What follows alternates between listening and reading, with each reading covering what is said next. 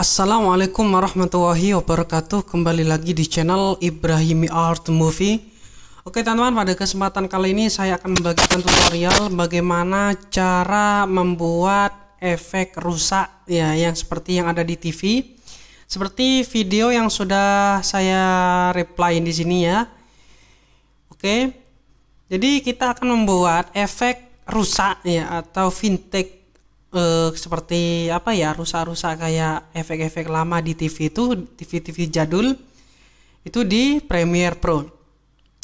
Untuk audionya teman-teman bisa cek di YouTube linknya saya akan taruh di deskripsi ya. Jadi hasilnya seperti ini teman-teman. Oke, jadi kayak TV rusak itu ya teman-teman ya di aplikasi Premiere Pro. Oke, biar tidak terlalu lama, kita langsung ke tutorialnya. Di sini saya akan hapus ya. Oke. Caranya gimana? Caranya pertama teman-teman ya, kita akan buat color matte ya. Di sini di project klik kanan ya, kita pilih new item, lalu kita pilih color matte ya seperti ini. Oke, lalu kita tekan OK saja. Untuk warnanya teman-teman pilih yang warna hitam ya. Oke. Selanjutnya kita masukkan ke timeline. Oke.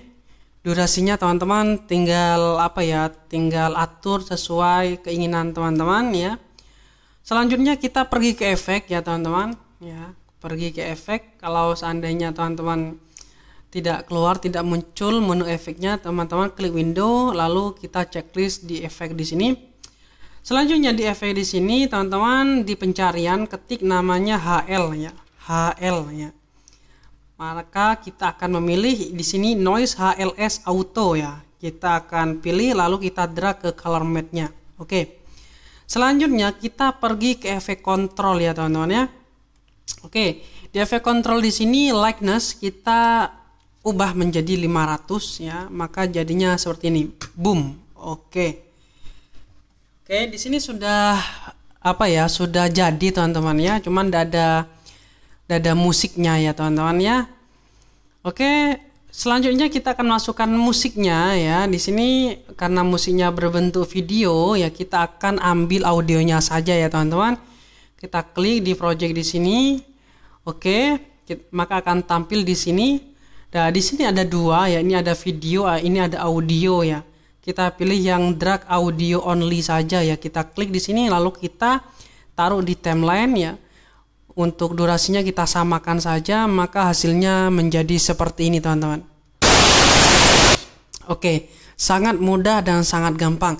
Dan ini teman-teman bisa eh, apa ya gunakan efek yang seperti ini mungkin dalam keperluan dalam pembuatan film teman-teman ya. Jadi dalam editing video bisa teman-teman gunakan yang seperti ini. Oke mungkin sekian videonya. Bila ada tanya jawab silahkan komen di bawah video ini. Assalamualaikum warahmatullahi wabarakatuh